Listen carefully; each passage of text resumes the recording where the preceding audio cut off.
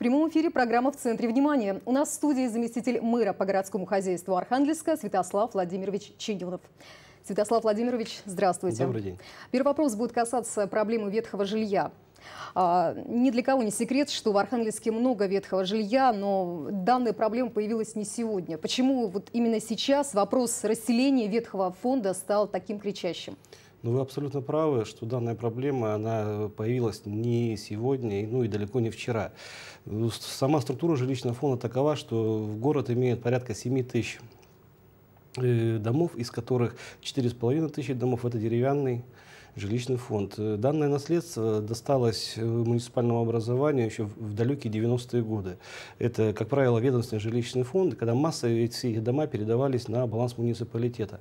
На тот момент, э, в принципе, собственники не в полном объеме финансировали работы по содержанию данного жилищного фонда и, соответственно, по капитальному ремонту.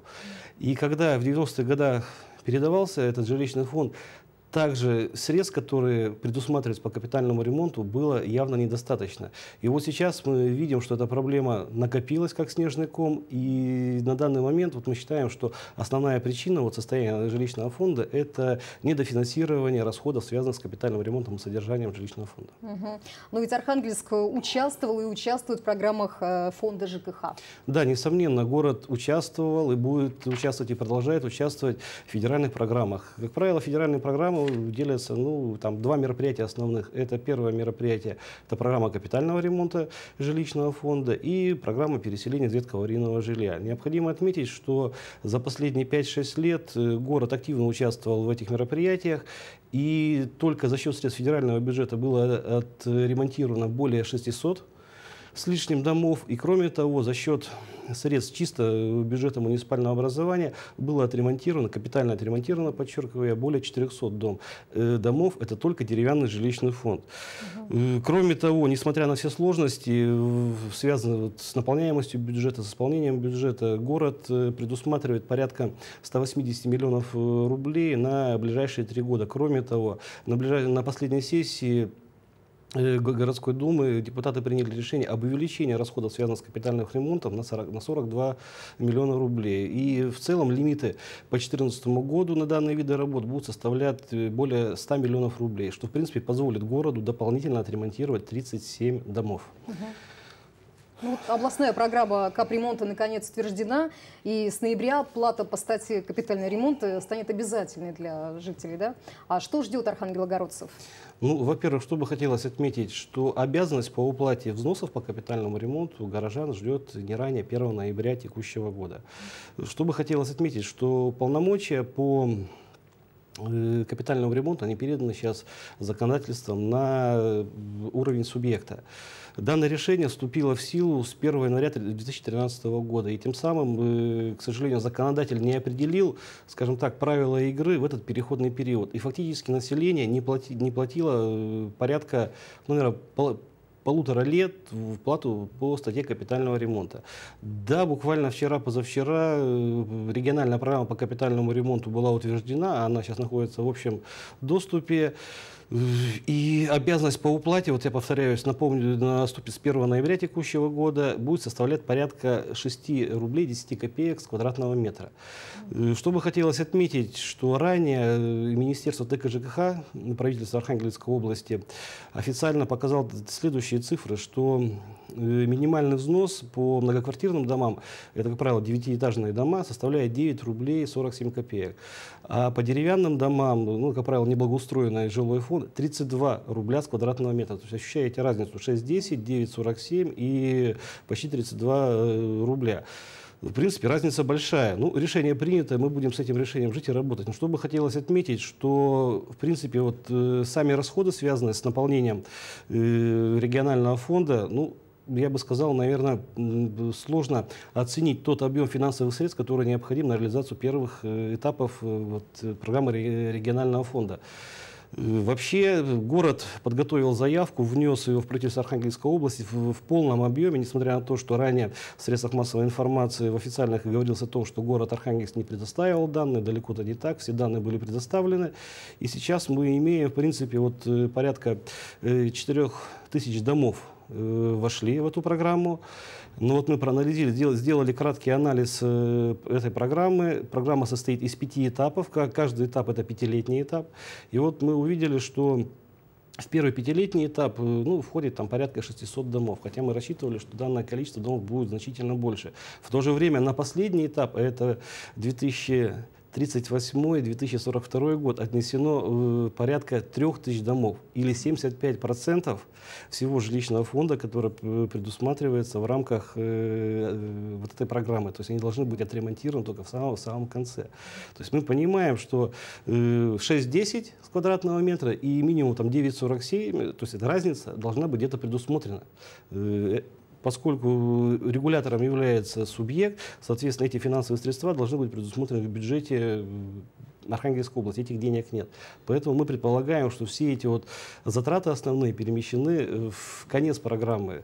Но мы же должны понимать, что все эти дома, которые подлежат капитальному ремонту, они с каждым годом ведь не молодеют. А если капитально не ремонтировать, соответственно, процент износов будет увеличиваться.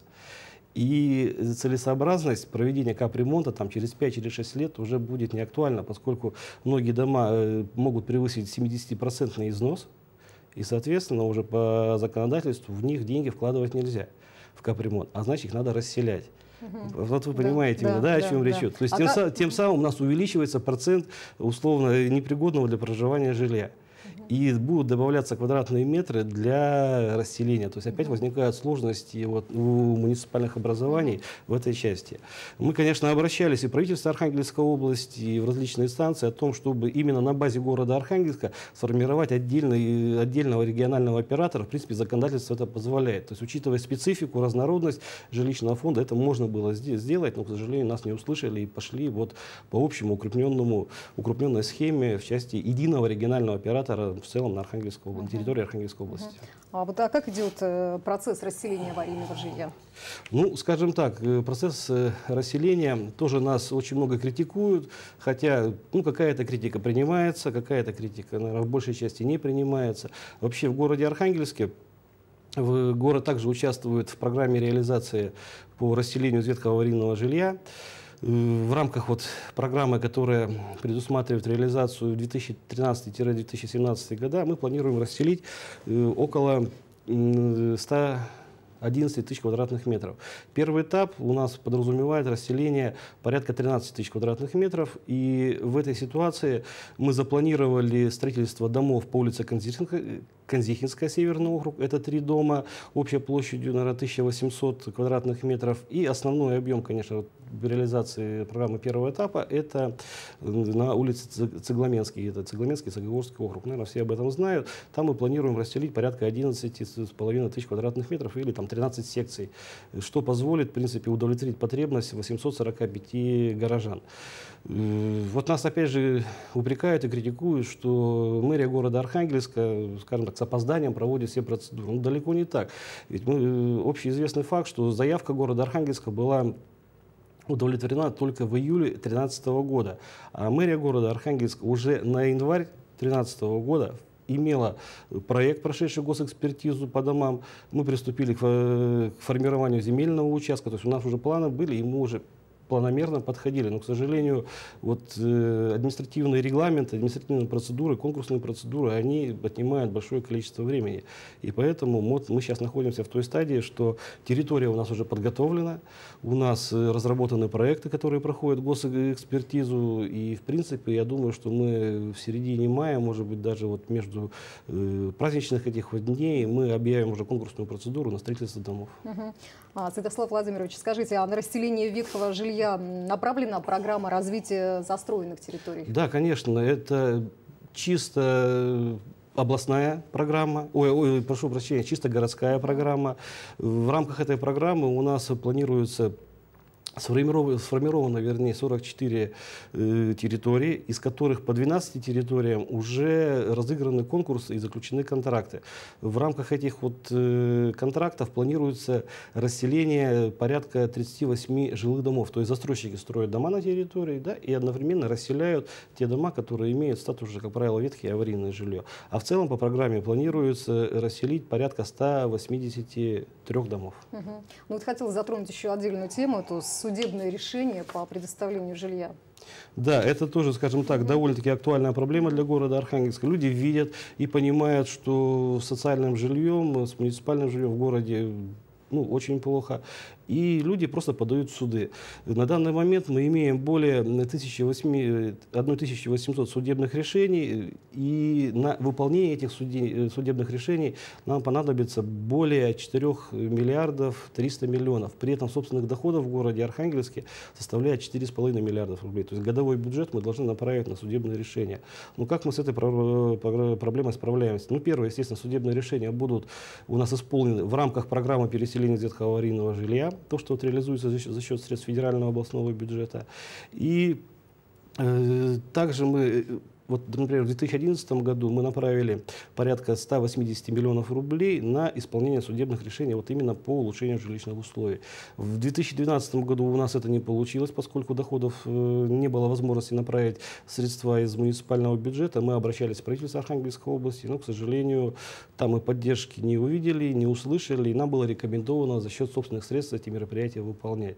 Что, в принципе, мы и сделали. В 2013 году мы на исполнение судебных решений по предоставлению жилья направили порядка 60 миллионов рублей, что позволило нам исполнить 34 судебных решения. Да, этого недостаточно, и в связи с этим мы в бюджете 2014 года и на среднесрочную перспективу также предусмотрено у нас порядка 150 миллионов рублей на исполнение судебных решений. Угу.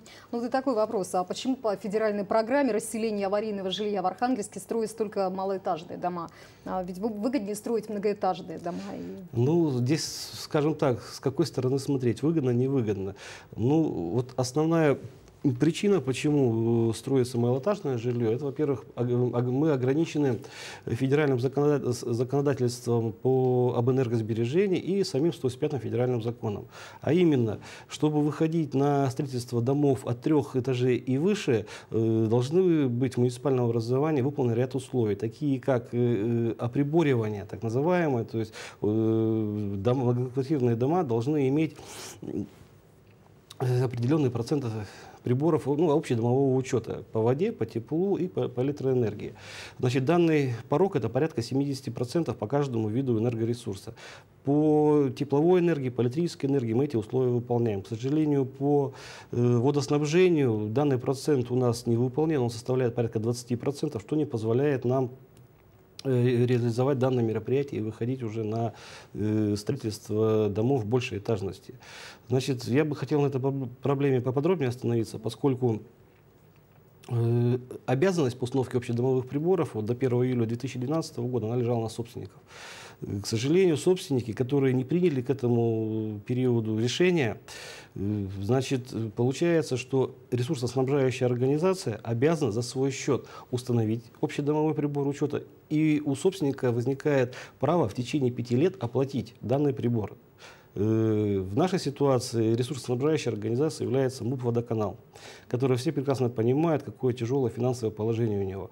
Э, в тарифных мероприятиях, в тарифных решениях э, установка общедомовых приборов учета ну, отдельной строкой не прописывается. Эти мероприятия можно выполнить либо за счет прибыли, который водоканал ну, априори иметь не может, либо за счет привлечения кредитных средств. Водоканал второй год не может ни одного получить кредитного рубля. Мы все-таки считаем, что Данное решение может быть реализовано только при условии четкого и сбалансированного тарифного регулирования в отношении водоканала. К сожалению, это сейчас мы не видим.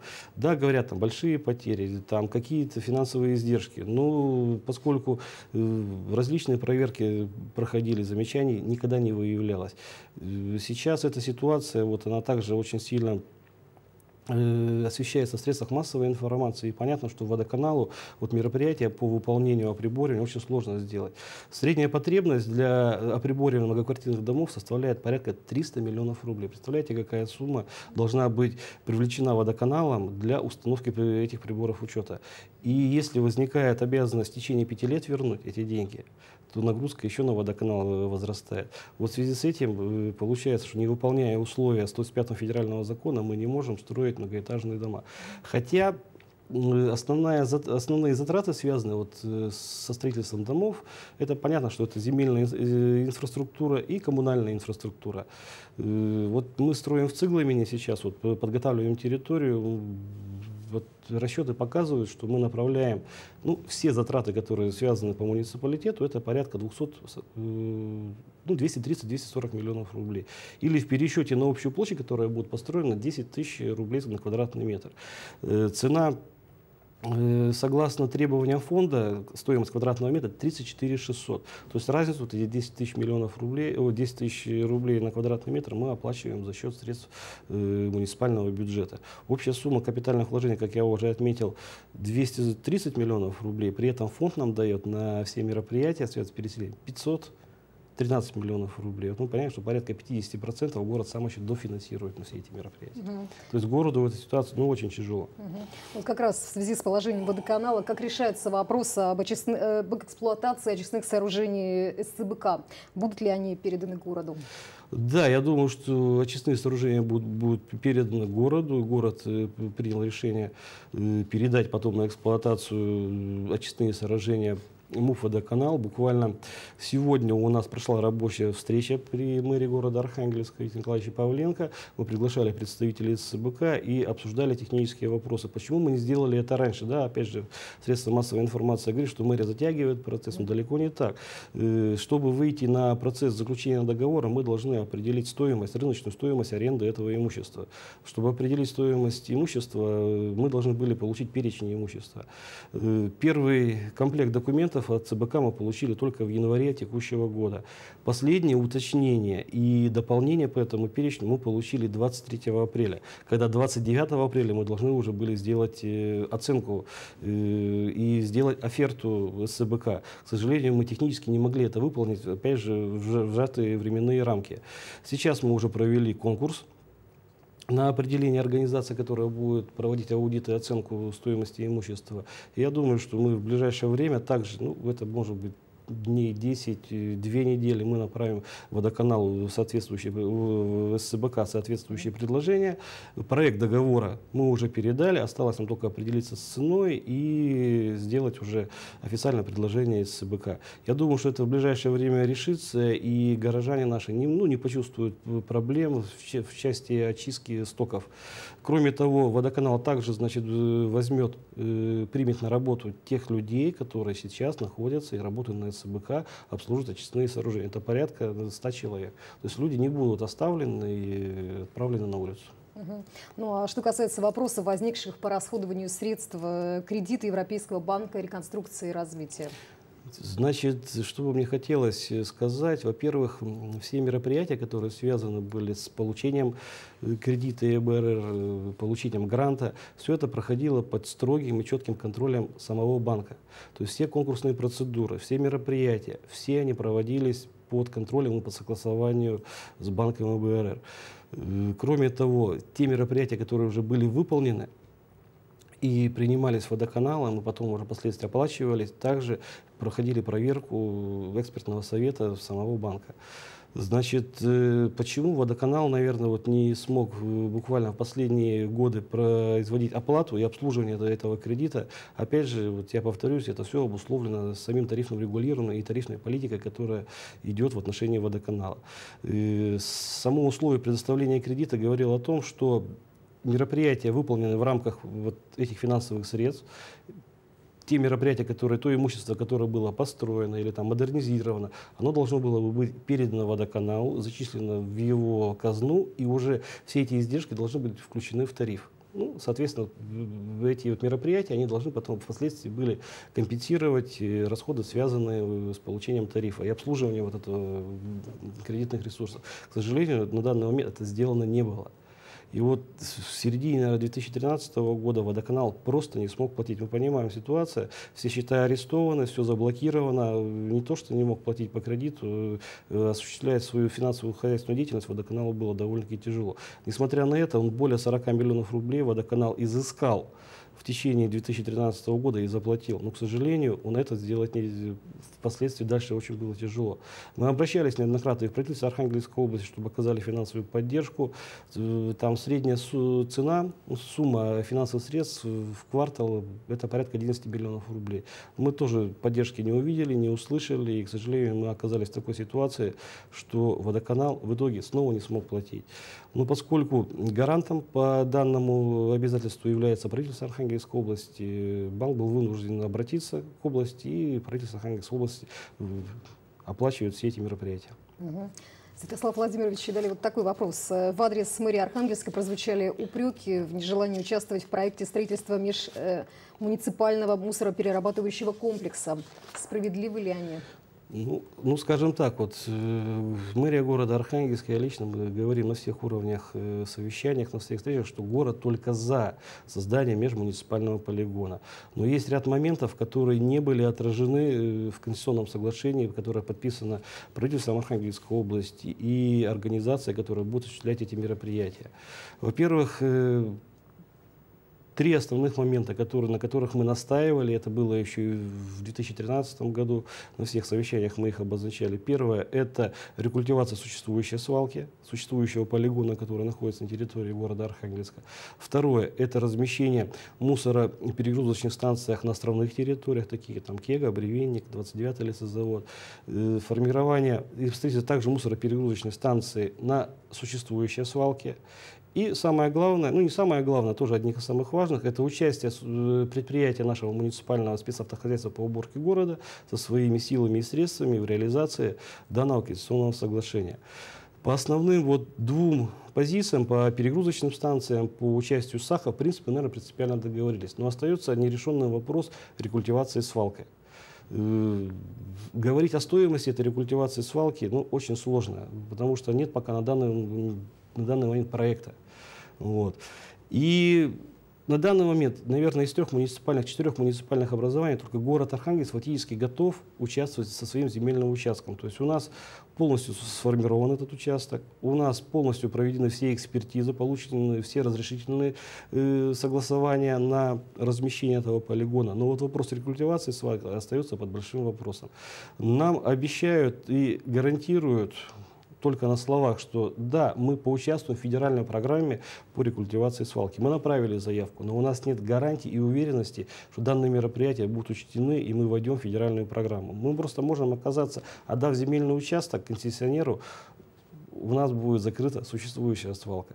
Кроме того, вот по существующему конституционному соглашению, что бы хотелось отметить, что стоимость утилизации э, по концессии составляет порядка, ну, могу в цифрах ошибаться, 800 рублей за одну тонну. Сейчас тариф в ЦАХ по утилизации мусора составляет порядка 300 там, с небольшими рублей. Представляется разница в, в тарифе опять практически в три раза. На кого лягут эти расходы, на кого лягут затраты? На население, на управляющие компании. Либо эта разница будет, э, опять же, предусмотрена в бюджете э, Архангельской области. Мы тоже этого не знаем. Но если мы все эти затраты переложим на население, на управляющие компании, в три раза рост цены по тарифу, это тоже, мы считаем, неприемлемо. И мы можем получить такой, такую ситуацию, что управляющие компании не будут заинтересованы привозить мусор на перегрузочные станции и на свалки, а просто будут сваливать в каких-то темных уголках нашего города Архангельска. Вы понимаете, о чем речь идет? И вот мы все свои требования, все свои опасения высказываем, но, к сожалению, в очередной раз мы четко вразумительного ответа ну, не слышим. Это вопрос рассматривался и на уровне областных депутатов. Но я думаю, что вот 8 мая у нас запланирована рабочая встреча, приезжают представители представители концессионера, представители правительства Архангельской области. Мы сядем за стол переговоров, будем просто договариваться.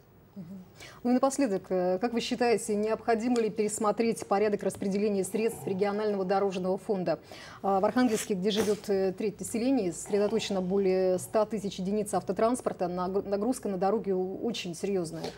Угу. Да, абсолютно с вами согласен. Вот вы сказали 100 тысяч автомобилей да, зарегистрированы угу. при населении, при численности населения 350 тысяч человек. То есть практически на каждого жителя, на одну машину приходится три жителя. Плюс еще количество тех гостей, которые при, приезжают в областную столицу из других городов, из районов области. То есть транспортный поток, транспортная нагрузка на дорожную инфраструктуру довольно-таки велика. Ну, что бы хотелось отметить, что у области сформирован дорожный фонд э, более 4 миллиардов рублей. Из них город получает только 70 миллионов рублей на э, текущее содержание автомобильных дорог. Но мы считаем, что это несправедливо. Взяли примера тот же город Северодвинск э, на расходы по дорожному фонду составляет более 400 миллионов рублей. Кроме того, дополнительно сейчас выделяется Северодвинску еще 138 миллионов рублей. И мы всегда предлагали и говорим о том, что необходимо вернуть программу город, развития города как областной центр. Там как раз были предусмотрены в том числе мероприятия по новому строительству дорог, по капитальному ремонту. Ведь э, мы на эти мероприятия, вот я уже говорил вашим коллегам о том, что у нас проектов по дорогам разработано больше, чем на 700 миллионов рублей. То есть мы потратили на эти мероприятия около 100 миллионов рублей. И сейчас проекты, прошедшие госэкспертизу, просто лежат на столе и ждут своей очереди. Но срок экспертизы, он тоже не долг, три года. Проходит три года, значит, мы снова направляем деньги на актуализацию этих проектов, на прохождение этой экспертизы. И получается, что несем дополнительные затраты, что далеко, по нашему мнению, неправильно. Но мы будем все равно в этом направлении работать. Плюс у нас есть еще ряд идей по улучшению дорожно-транспортной ситуации в городе Архангельск. Здесь мы совместно с ГИБДД э, работаем. У нас создана комиссия по безопасности дорожного движения, в которую также входят депутаты городской думы. И тяжело, но мы будем выходить из этой ситуации. А, Святослав Владимирович, я благодарю вас за беседу. Время нашей программы подходит к концу. Поздравляю вас с наступающим праздником. Ну и напомню, у нас в студии был заместитель мэра по городскому хозяйству Святослав Владимирович Чинюнов. Это была программа «В центре внимания». В студии работала Лена Гончарова. Прощаюсь с вами до следующей недели. Всех с наступающим праздником. thank you